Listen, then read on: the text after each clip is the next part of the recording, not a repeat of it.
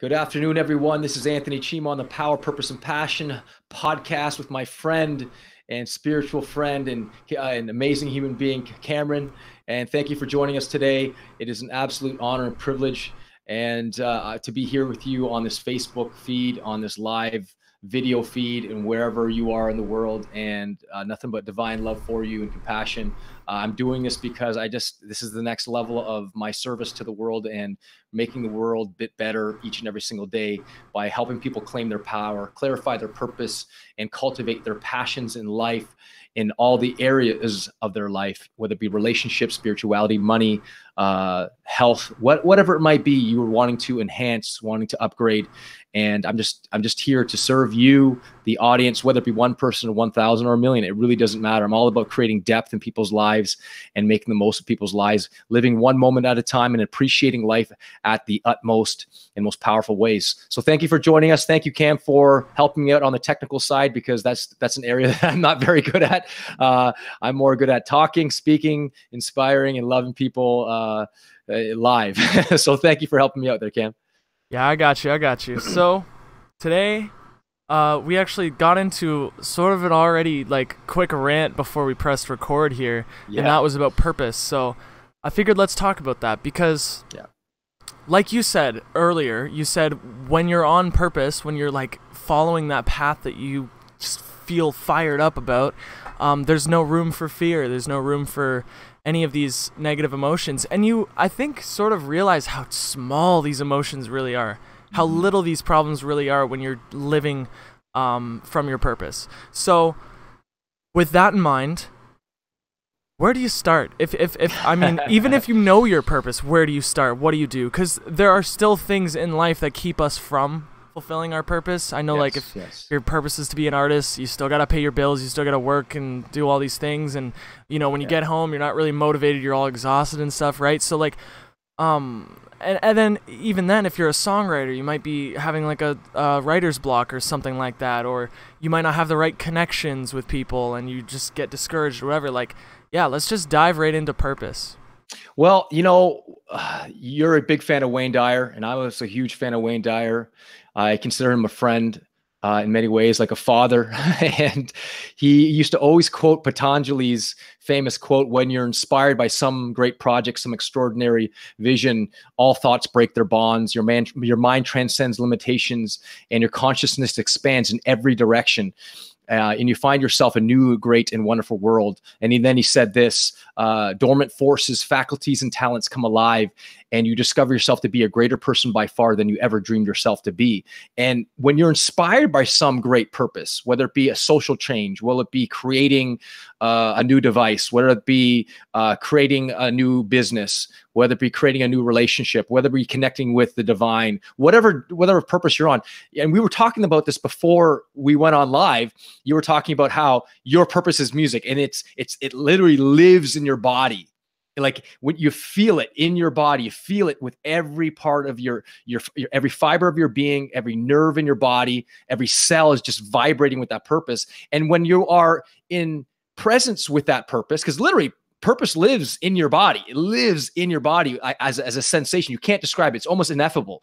And when you're on purpose when you're inspired by some project by extraordinary vision or some passion that you are, are something very passionate about literally it, it's like almost it's almost like the universe aligns there's no fear. And you were talking about this. You know, the inner cynic comes up, the ego says, Well, you should be doing something else. You were just writing a song and you're going to send me that song, of course. And you were saying, as soon as I was finished, as soon as I was out of purpose, the ego, the inner cynic stepped in and he said, whatever he or she said to you, said, Oh, you should be doing more. This is stupid, or whatever it might be, right? But the reality is, is when you're in that mode of playing the guitar or writing music or writing your poem or composing that that play you were meant to compose or opening that that daycare or whatever it is you're you're wanting to do or moving to Africa. I mean, I have a cousin that moved literally to Africa, South Africa with her husband, quit her job, lives uh, in uh, California, quit her job, adopted five children, now has like a little um, uh, a ministry or a little uh, for a shelter that she's done for for for uh, for for for kids or babies that um, that that can't find a home, or I think it was women that have been raped and then that they have had babies and they can't take care of them, so they bring them to the shelter and they take care of these these babies. That's her purpose. She literally got up and left and just lived her her dream, her purpose, serving serving God, serving the, the divine, and and whatever vehicle she used. And when you are feeling that, and when you are owning that, um, it is a very powerful thing. And, and you talk about how do you how do you actually get to that purpose? Well, oftentimes people ask me, um, how how do I how do I find my purpose? Well, then here's the thing. I often say, all right, if you haven't found your purpose, make discovering your purpose your purpose. That that that becomes your purpose. You know, when people ask me about prayer and they're saying to me, "Oh, how do I pray? How do I meditate? I don't know the purpose behind it." that then becomes your prayer. Your frustration with meditation, your frustration with prayer, that actually becomes your prayer. You go, I can't do this. It's hard, or I can't find my purpose. I need some guidance. And there's going to be some times when you're going to feel like the universe, God, or Allah is left you and you don't feel like you have any hope or meaning left in your life. And that's particular time. Sometimes you got to step away, but make discovering your purpose your purpose. And here, here's a little idea two things. Number one, what are you really good at? What are you so good at naturally that when some someone looks at you when you're doing that thing that you're good at, they go, "Wow, you're really good at that." And you go, "Well, it's it comes naturally to me, but it's not that big a deal." Well, that's that's a good that's a good little secret to look at the things that you're really good at. Like I'm good at sports, I'm good at music, I'm good at a lot, a lot, a lot of things. But in those little subtle talents, we can find deep meanings and being present with those talents, being present with those moments of wow, appreciating our talents, appreciating our genius, our genius, appreciating our passions, and then and then fr- from the moment moment by moment, you nurture those talents. You make them better. You sharpen them you make them better. You practice deliberately every single day to make those talents better. Now, does that mean it's going to be joyful without frustration? No, you know this, that Cam. When you first start playing guitar, what happens to your fingers? They bleed, right? Because they're not used to it. And so you're going to get some pain. So that's part of the process. That's part of that's part of the the sacrifice. That's part of the commitment that you're going to go through some pain uh, in the process of discovering your purpose, living out your purpose, and finally um, getting to the ultimate end, if there is anything like that, an ultimate end. But every day I'm living my purpose, and uh, that is my objective. I just went on a tangent. there hey, I that's go okay. No, that's what this podcast is about. It's about tangents. So uh, no, that's great, and I do recognize that that uh, that theme of like taking an extra step back, and that's like the solution to most problems, right? Like um, when you're meditating, when you think about meditating, when you when you when you're trying to be present and you think about being present, you're no longer present. So you have to take yes. another step back, and then you also just think about thinking about it, and then another yes. step back. I thinking about thinking about it. Yeah, yeah and it. then and then meditation just becomes this game of like stepping back the entire time, and uh, I think that yeah, that's what you said with purpose. If you can't find your purpose, make finding it your purpose. Because yes. I think at all moments of every uh, yeah, like every moment of your life, there's constantly. Uh, there's constantly a purpose somewhere. Yeah. There's constantly well, you, yeah, yeah, there's always and you know what? The second thing I didn't I didn't clarify the second thing I was going to say. Make sure your purpose is about service serving the greater good. And you know one of Wayne Dyer's famous mantras or affirmations that I use is how may I serve? Not what's in it for me but how can I serve the greater good? How can I serve this person right here you know, there's a spiritual teacher that talks about how the greatest moment of your of your life is this moment now. The greatest person and most important person in in your life is the person you're with right now. The most important time of your life is this moment right here. So it's it's also combining, okay, how can I be discover my purpose, live out my purpose and be present with what is in this moment? And whether it be you know for my coaching practice one-on-one coaching whether it be speaking in front of audience or listen i just played for a funeral uh, I just finished a funeral. I played and sing for a funeral for a 23 year old, 23 year old man, young man, and I sang and gave my all to that to that to that congregation so that I could I could provide that healing for people, that's emotional release for people. Not because I'm better than anybody, because that's part of my purpose is to sing. I, I've been given this great gift of talent of singing and playing the piano, and I'm going to give it away as much as I can. And you know uh, that's that's who I am, and that's how I'm going to live out my life. And so if you notice too when you're on purpose, when you're present, when you're present with your purpose, fear dissipates. And when you're focusing on not just purpose and and and uh, presence, but serving the greater good, all of a sudden, your ego, your inner cynic, the fear, it literally dissolves in the presence of your purpose, in the presence of being present with your purpose and serving the greater good. There are times when I was speaking in front of audiences, or I'm one on one coaching, or I'm singing in front of audience, or whatever it might be, and I wasn't feeling well and I was sick and I was just, I had a fever or whatever it might be. And in the moment, I, I, I, changed, I shifted my focus from, oh, I'm, I'm feeling sick to these people are, I'm here to serve these people. I'm going to step up and serve these people. All of a sudden, the sickness dissipated for that hour, hour and a half, whatever it might be. I gained this health and vitality that was dormant, that was always there. But all of a sudden, I, I took it off of me and onto sharing with others. And then it was gone. But after the 90 minutes were up, all of a sudden it returned because I was, again, focusing on myself. So focus on purpose, being present with your purpose, and on service. Those three things are, are so, so, you got to get really associated with that, with that level of purpose, the presence, and the serving the greater good, using your gifts and talents to make the world better, make the people around you better.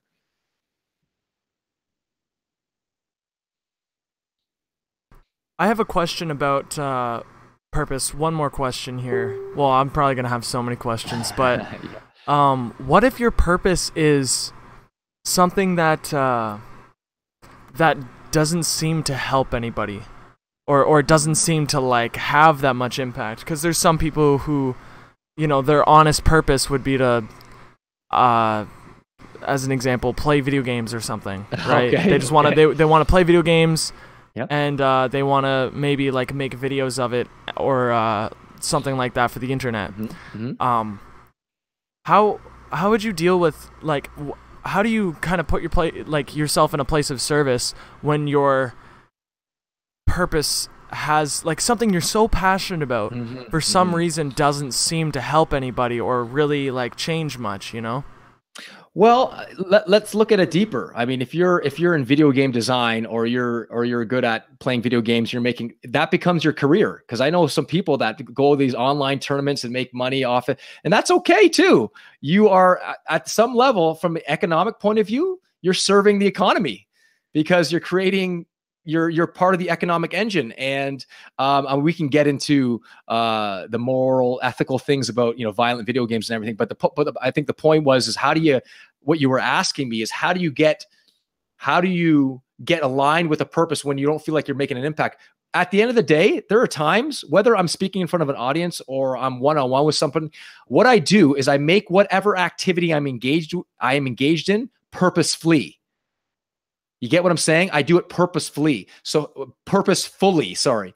And I'm present with, whether it be drinking tea. I mean, the Japanese have this uh this tea ceremony called chanoyu, and they they they they take these people through these these really slow present moment uh ceremonies of a tea ceremony, and they get really into it to the point where they can like they can do the ceremony without any cups or tea and they can almost envision the tea in front of them. They're so present. They do that action of serving tea to people, total presence, total purpose, and they're fully engaged in that moment. So at the end of the day, it's it's not, I mean, everyone has a different level of purpose. I mean, if you look at a guy like Tony Robbins or you know, if you look at people like Jesus Christ or Gandhi, we're I mean, comparing ourselves to comparing ourselves to those guys is probably not a good idea because we're going to feel inferior to those guys. But we can also shift our focus from, oh my gosh, they're better than us to, wow, those people are inspiring me to do something. Whatever instrument, whatever vehicle I'm using, whatever career I'm doing. I mean, I remember hearing one guy talk about how at his church, you know, um, they brought up these two people who, and they commissioned them up there, and they they were clapping for them because they were going to Africa to run a missionary down there, and everyone's clapping. New level of human being, right? But then, what about the accountant that's at work, that's sitting in the audience going, wow, that's a new level of human being. And they're comparing themselves to these two people that are going to Africa, giving up their lives to go to Africa. Well, the truth of the matter is, the accountant has a purpose too. They create order out of chaos for people. That that's very purposeful.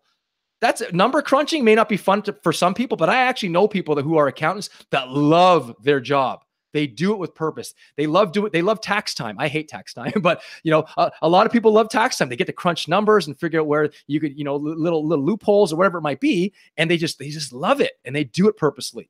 So whatever your calling it might be, if it brings you joy, and here at the, at the end of the day, there, Cameron, if a person's you know, uh, playing video games and they're inspiring other kids to become, you know, video game creators or the best video game player o- online so they can make a career out of it, they're being inspired by these people. So that that then becomes a purpose too, right? Right? At, at the end of the day. Uh, let, us look at it. Video games are now, I think the stati- statistics are video games are now have now surpassed Hollywood. And it is there are people that are sponsored by Red Bull, you know, by all these crazy things. These teams of Call of Duty guys, eh, whether I endorse it or not, it's just the point is is that it, eh, these people, it, it's it's here to stay. And there's tournaments. It's it's it's bigger than ESPN at some level, right? It's actually esports now, and it's not that there's nothing wrong with it. I, I don't think that there's anything wrong with it. It's how we go about uh, using our talents to make the world better. I think that that's just my opinion. Absolutely. No, I love I love that because uh, there is always something to give in everything that you do, right?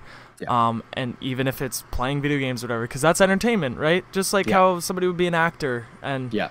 You know, yeah, yeah, that, it's entertainment, like whatever. Yes. I love yes. that. I love that. And also, I feel like you can um you can play video games, gather influence as a player or as whatever. This is just the example, right? But you can gather influence in whatever you do, whether it be sitting sure. on the street meditating sure. or playing sure. like whatever. Um, and once you have that influence, you can help others, right? Like Jim Carrey, as an example, became one of the biggest actor comedians yes. in his time, and then started talking about spirituality and trying to help yeah. people. And like you listen because it's Jim Carrey. like yes, you've got yes, you course. have that influence, right? Yeah. So yeah. no, I love that. We also have a comment from Len Erickson yeah. saying being available and willing to do whatever you're good at for the benefit of others is a good start. Do it and oh, they yes. will come. A, a, hundred percent there, Len. I, I absolutely agree with that. Um, I, I think one of the things we haven't talked about is, is taking action.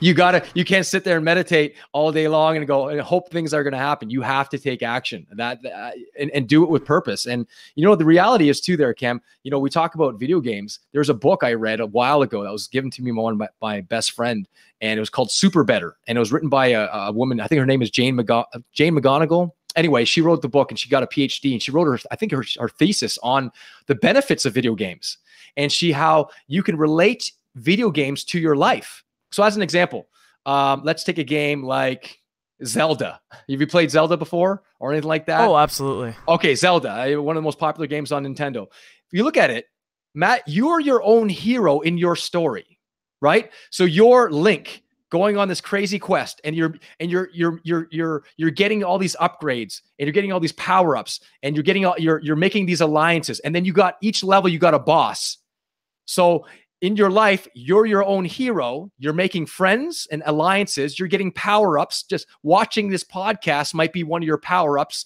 You might get an insight and you go, aha, that's going to help me take, get to the next level so I can prepare for the next boss of that level which would be a challenge, whether it be an internal challenge or or a person in your life that might go, yeah, you're not going to make it. Um, you're too stupid to open your own business. You don't have uh, the education. You're too short. You're too small. You're too old. You're too fat. Whatever it might be, and you conquer that, and then you get to the next level, which creates a stronger sense of certainty, and then along the way. So I'm I oftentimes in my coaching practice with my young people that I coach, I use video games as a metaphor.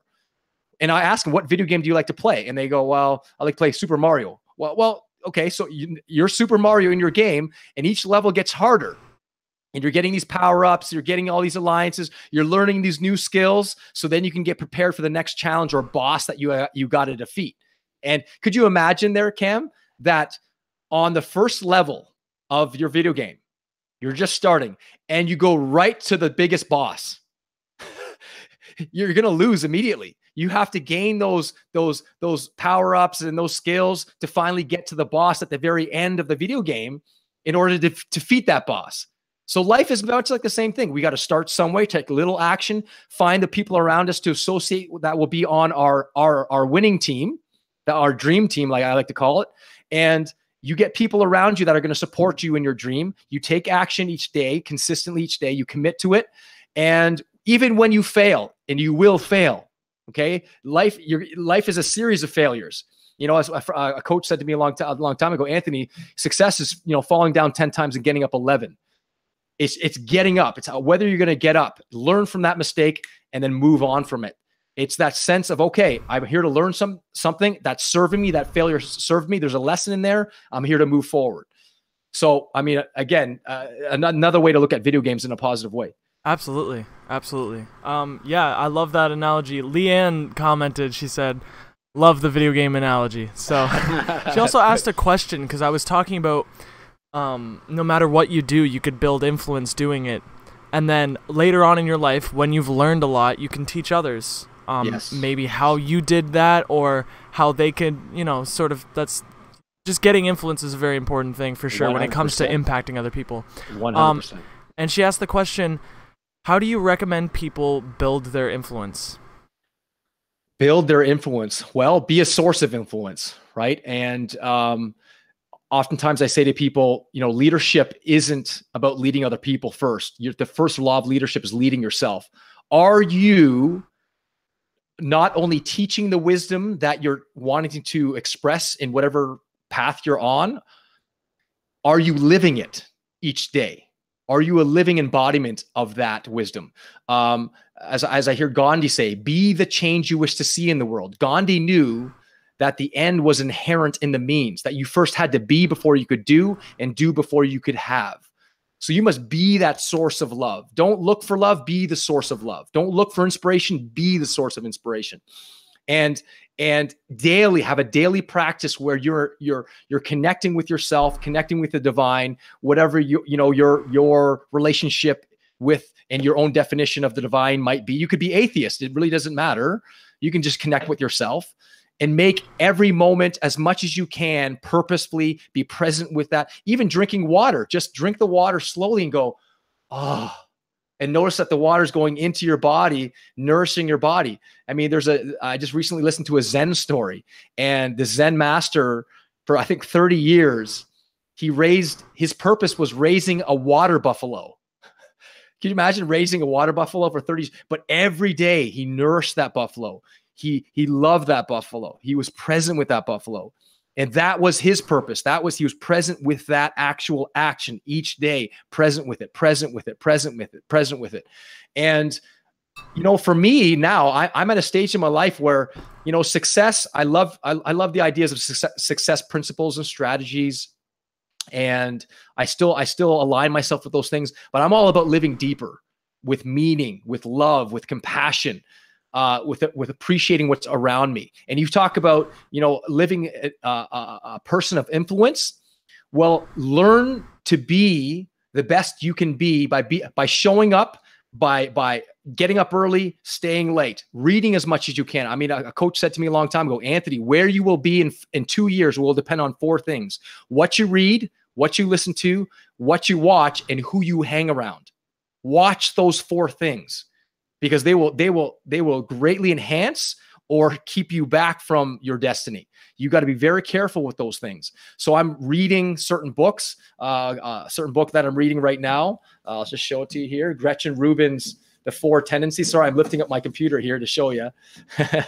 it's so I'm reading books like this every day. It's a great book on the four tendencies. And I'm listening to audio, spiritual audios, success principles, anything to feed my mind. Uh, the right uh, tool, the right words. Um, I'm watching videos on inspirational people, um, hanging around good people, hanging around people that are better than me, and constantly feeding my mind because garbage in, garbage out, good in, good out. So be very careful what goes in your ear, who you're hanging around, what you're watching, and what you're what you're listening to and what you're watching.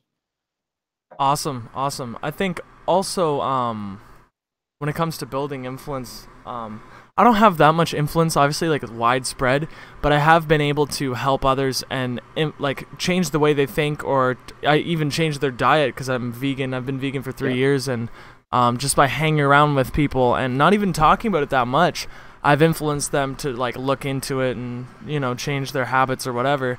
And I think it's an amount of just being honest and being like yourself, because a lot of people they they put a filter on and they don't. Uh, they kind of like they're like chameleons, right? They like put on a skin because they're with this person and they want to kind of mirror them so that they can be accepted.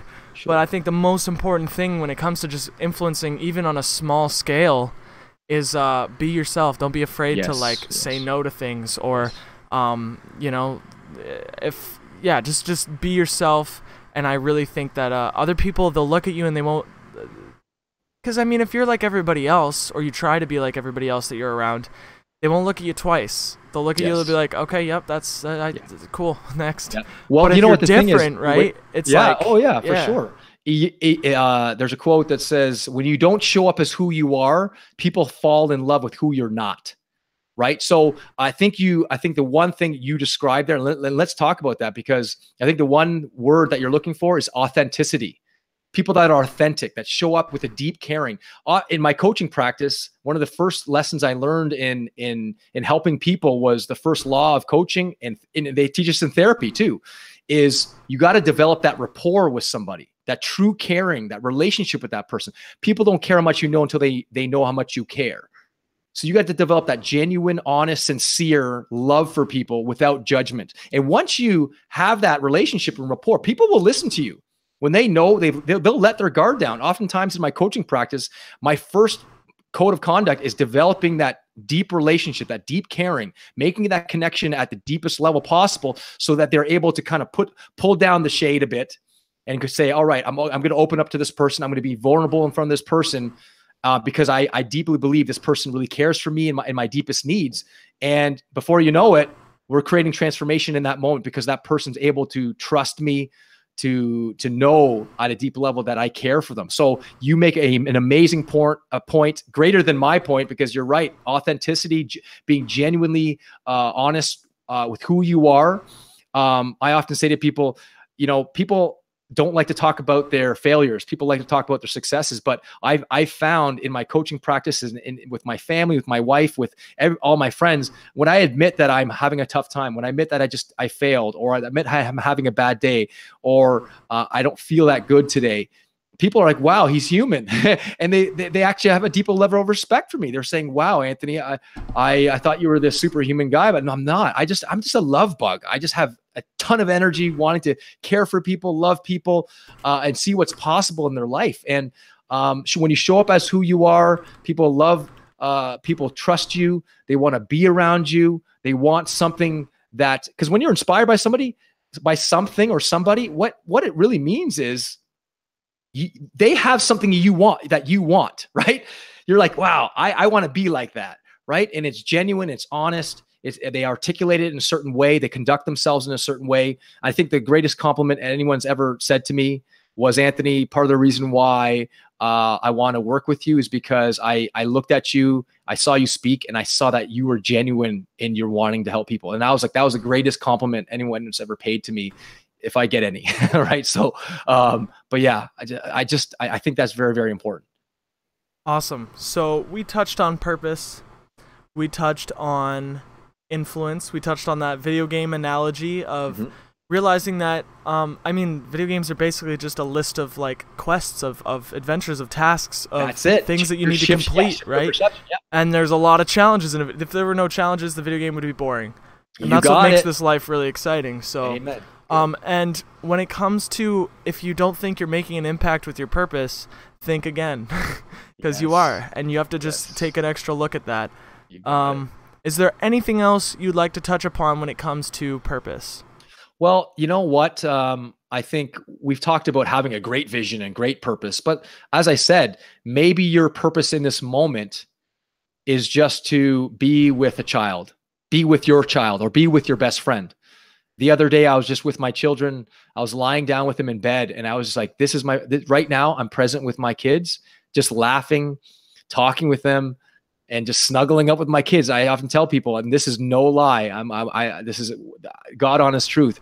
My favorite part of my day is when i've completed my day and i'm tucking my kids in bed and my son or my daughter says to me dad can you snuggle? And i'm like oh yes. And it's like the best. And i just lay down with them fully present no agenda uh, totally with them in the moment, laughing, playing, um, just there. And uh, as I said, there's no work to be done. It's two people connecting at the deepest level without any thought of future, of past, fully in the moment. And I that is the best part of my day. Uh, you know, there are great parts of my day when I'm helping a lot of people, but at the end of the day, just be present with with the next time you're drinking coffee or drinking tea or you're working out just be present with it. Just just sit in awareness of in awe of this present moment. Like eh, I was by the spiritual teacher asked me a long time ago. It, it, I actually use it in some of my seminars and in my coaching practices. They uh, he asked me, Anthony, what what would happen if you had six months left to live? What would you do?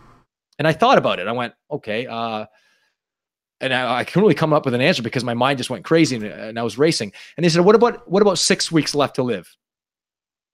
And I was like, "Wow, six weeks left to live." And then he goes, six days left to live. And I just went, whoa. And then he said, how important is that? You know, that, that flat tire.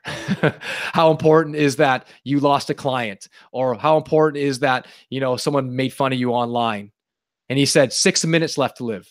And I went, he goes, the truth is, the truth is, we don't know when we're going to expire. We're basically candles and a wind a wind can go, go by and snuff out our candle, our light at any moment in time.